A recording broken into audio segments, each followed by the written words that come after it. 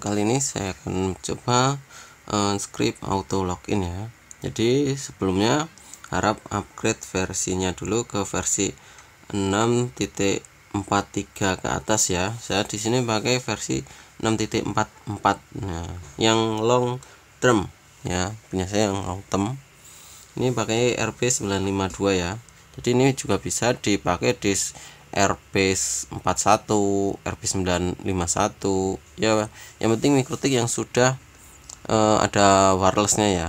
Jadi ini bisa nanti yang penting uh, firmware-nya itu sudah terupdate. Dan ini baru saya reset ya jadi masih belum ada konfigurasinya. Oh bisa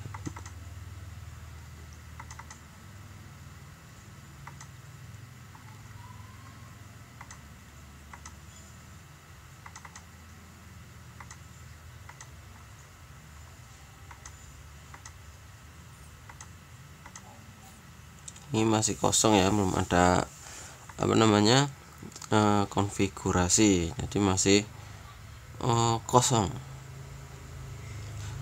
Ini langkah pertamanya kita hmm, bikin jaringan lokal. Nanti kita masukin script baru nanti saya koneksiin ke ISP nya ya. Nah, ini kita kasih nama dulu untuk ISP BMS nya ya. Di saya pakainya yang WLAN 2 yang jaringan 5 GHz tapi bisa juga pakai yang 2,4 nya ya. Jadi terserah mau pakai yang mana. Nah untuk lokalnya ini saya pakai ethernet 1 ya. Ini saya kasih komen aja biar sebagai penanda. Ini saya juga pakainya jaringannya wireless ya. Jadi dari Mikrotik saya tarik kabel ke AP Huawei. Terus saya koneksinya ini pakai Huawei nya ya. Jadi ini bisa juga uh, pakai wireless jadi walaupun uh, ini bisa tanpa kabel ya. Jadi nanti IP nya kan pas di defaultnya kan itu ada 00 nah itu juga jadi masih bisa kita remote walaupun ini belum kita konfigurasi mikrotiknya. Nah kita bikin dulu untuk IP address di ethernet 1 ya. Kita bikin jaringan lokalnya dulu ini jaringan lokal ethernet 1 bisa juga yang pakai bridge ya. Jadi ini kalau saya lagi yang biasa aja jadi nggak pakai bridge. Kita bikin DNS nya kita allow kita kasih sininya. Eh, yang server Google 8888 8844 apply oke. okay terus kita bikin DNS servernya.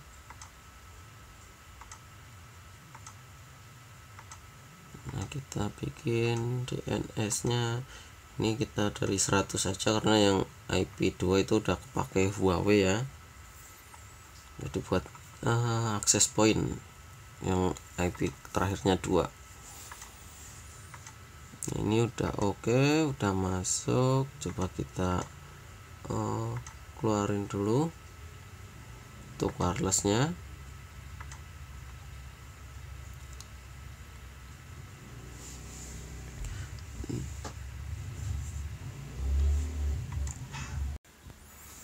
Nah, ini kita login lagi ke Mikrotik, kita cek ya. Nah, di sini addressnya jadi satu-satu yang tadinya 0000 di pas pertama. Nah, ini kita lanjut. Doklannya ini udah jadi ya. Oh, ini terus kita bikin. Oh masukin scriptnya ya. Ini untuk scriptnya jangan lupa uh, copy link loginnya dulu ya.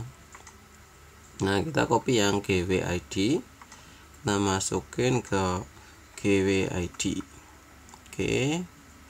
Terus uh, ini ya WLAN kita sampai yang sebelum session ya. Nah langsung kita ganti di sini. Oke. Nah ini tinggal kita masukin user sama passwordnya ya.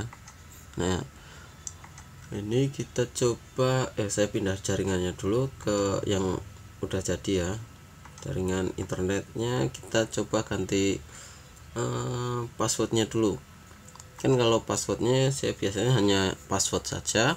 Kita setting ke password dan uh, username dan password ya untuk loginnya ya. Jadi kita bikin yang dua form ya. Jadi dua form satu form untuk username dan satu form untuk password ya. Karena ini buat auto login nah kita masuk ke sini ya view. Kita ganti jadi username dan password. Oke kalau sudah kita masuk lagi ke mikrotik ya. Eh mikrotik ke notepad untuk scriptnya. Kita ganti juga ke pindah ke mikrotik yang kita setting. Karena saya nggak pakai LAN ya kalau ngulur LAN lumayan panjang. Karena mikrotik saya ada di depan ya. Nah ini kita masukin passwordnya eh username nya sini passwordnya. Nah ini sudah semua ya. Jadi kita tinggal copy scriptnya. Kita masuk ke um, mikrotiknya lagi.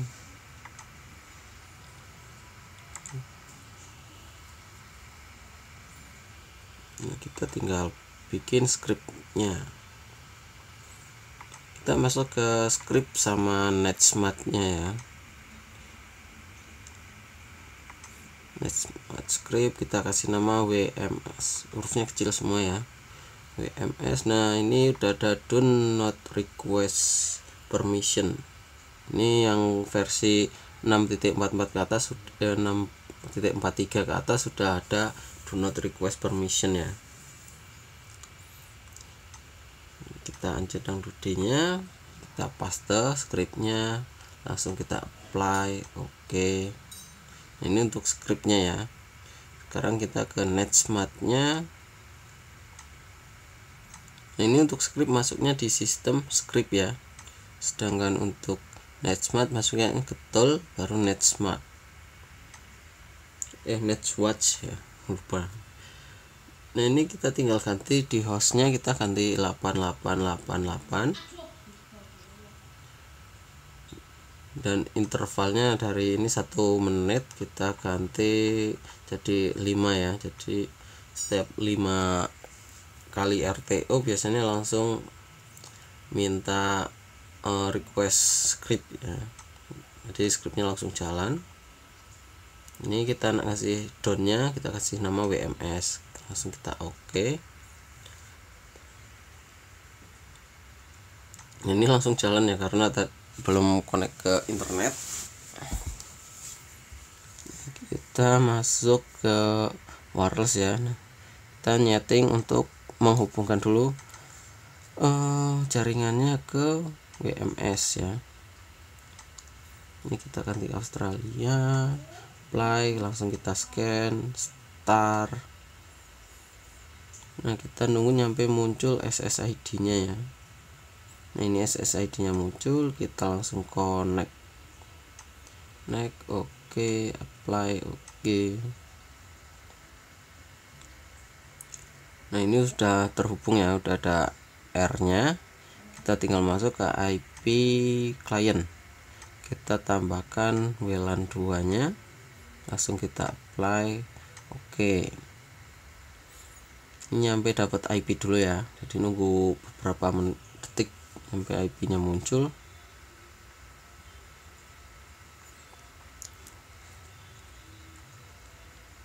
Nah ini request. Nah ini sudah dapat IP nya kita bikin firewallnya dulu ya saya lupa firewallnya. Kita tambahkan NAT outnya WLAN 2 terus actionnya masquerade apply oke. Okay. nah kalau pakai WLAN 1 untuk outnya ganti WLAN 1 kalau pakai LAN berarti tinggal kasih outnya WLAN 1 ya. Kita coba ping. Google.com nah di sini masih RTO ya. Scriptnya belum saya aktifin. Ini juga minta login ya.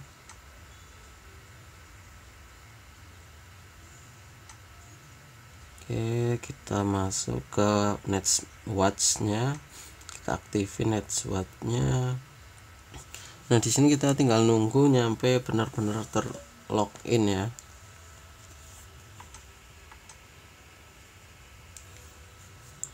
jadi ini nunggu nah ini udah run langsung dua. Ini masih in release DCP client masih belum bisa connect ya.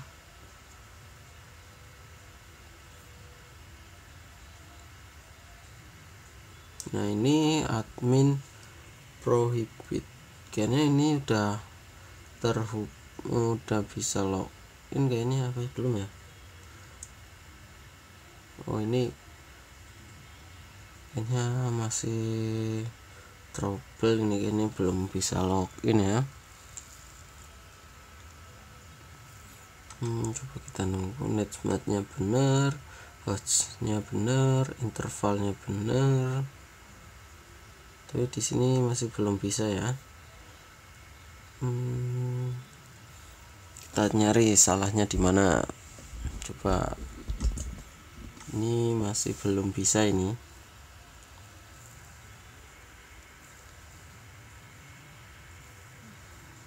masih in release DHCP client ini padahal udah run tiga kali cuman masih belum bisa connect ya. Hmm, coba kita cari dulu kesalahannya di mana.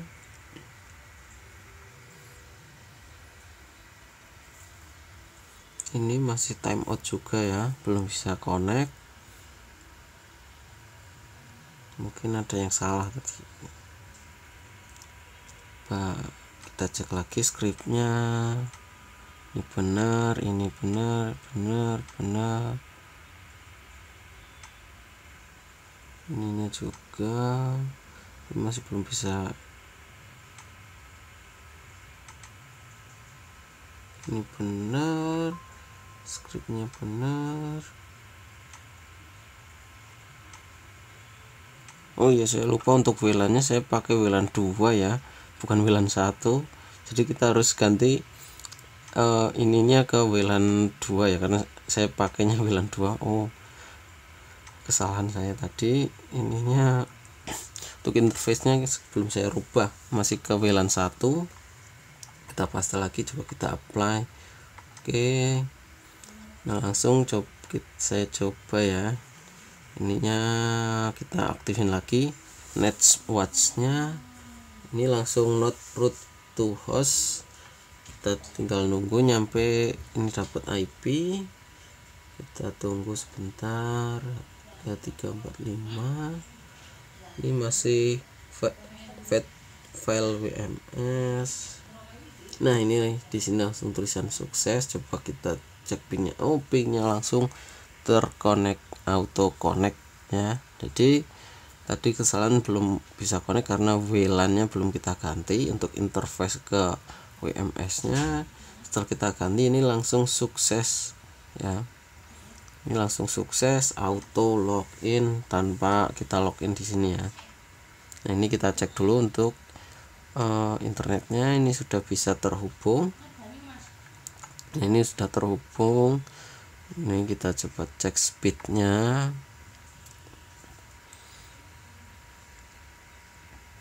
Nah ini kita cek speednya. Kayaknya sama aja udah seperti speed WMS kebanyakan ya. Yang penting ini auto loginnya sudah terhubung. Sudah bisa terhubung. Ya kita pakai Opera ini agak lama. Saya pakai Opera biasanya cuma buat link loginnya ya. Jadi kalau Opera itu Opera browser itu kadang-kadang auto buka kalau kita minta login ya. VMS nya minta login. Nah sedangkan untuk speed test pakai browser Chrome.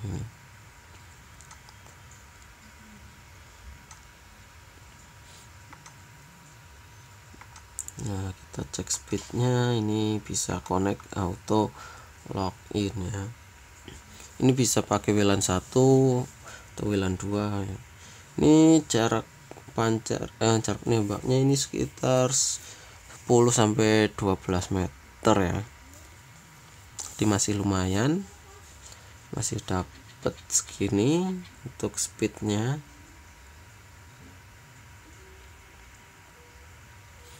masih dapat di sekitar 10 Mbps lebih. Jadi masih lumayan. Ini padahal saya pakai AP nya AP indoor ya. AP indoor yang penting naruhnya jangan sampai kena hujan masih aman lah. Nah ini masih dapat. Nah jangan lupa untuk like comment dan subscribe nya ke channel ini ya. Jadi biar nanti update video-video yang lebih baru atau tutorial yang lebih bermanfaat lainnya ya. Dan nanti kalau saya update langsung ada notifikasi update video